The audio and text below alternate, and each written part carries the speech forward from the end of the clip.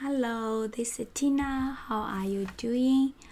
Uh, this video we're gonna follow um pre previous video. We're gonna refactor our add to shopping cart the code a little bit so we don't don't repeat ourselves. Okay, so in our code, which is this part and this part and this part if we add the, the, by default the total price gonna be zero. So here we can also add plus add here it won't affect the result right? So you can see on those if else condition this part this part this part is what? Is uh, duplicated. And uh, we can do is after everything is done we do this one so what we're gonna do is for this part we move out and we comment this one. And we comment this one. You know okay. We comment this one. Okay so because it's the price gonna be changed eventually right? And another two part I, uh, I duplicated which is this part. And this part right? It's duplicate. And uh, let's take a look at the condition here. The only difference is we just need to to check if the shopping cart is none okay? Then um, we initialize. Other uh, the other part is exactly same right? So we can do is here a condition. If the card we give the default value is equals none right?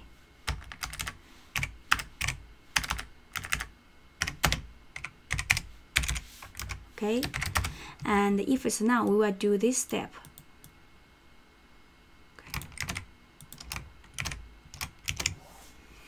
Let me think about it. Okay. Oh we cannot put it here. Because if we put here now and uh, let's think about it. If we put it here non quantity but if we don't add this condition it won't go inside uh, here so here we don't using an else. Mm, let me think about it.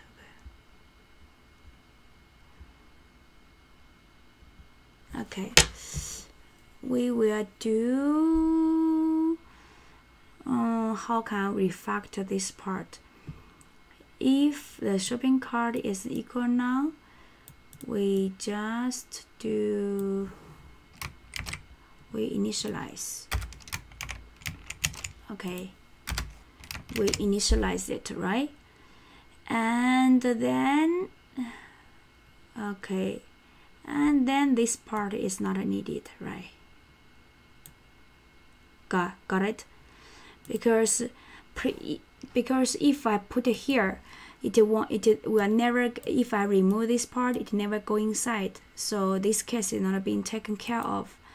So now what we what I did is if the card is none I will initialize it right? I will initialize it.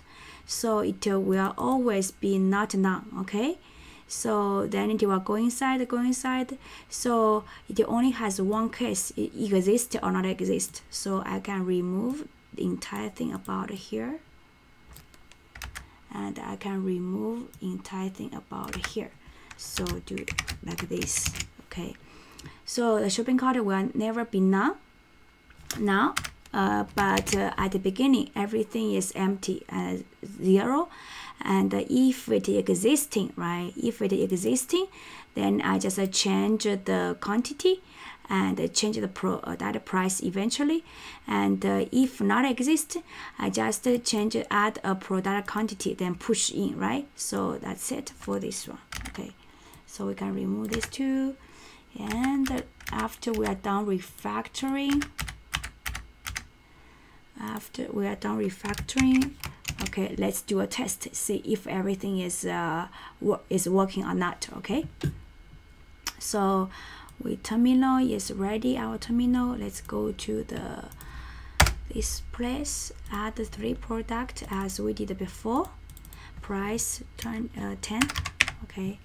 Image url description qq and uh, add product. Another one uh, another one is uh, react right okay using 20 and the image url same qq okay and add another one which is the angular uh, 30 and the image url this one qq okay so now let's add one two three. So we should expect we have uh, three items in the product? Okay let's take a look at it. The last one okay. We have uh, node react and angular okay. And uh, quantity is all of them is one. And uh, the what's the the number 10 20 30 should be 60 so it's it's correct right? So now let's go back and add node okay? Add angular okay again and check. Go back check. So now you can see uh, now the last one right? Now the node is become two okay? And I didn't click on react so it's one. And the angular now become 2 and the price let's check. So here is a 20 20 plus 20 40 40 plus 60 right? So 100 we can add one more okay? Like uh, the angular okay so here. Angular uh, node node sorry add node 3 1 and 2 so everything is uh, correct now. But our code become like uh, shorter or more uh, concise now right? No duplicate code now here. So that's it for other two shopping cart. And uh, next one we can go yes actually to display the items in the shopping cart into our page okay? Thank you for watching this video. See you. Bye bye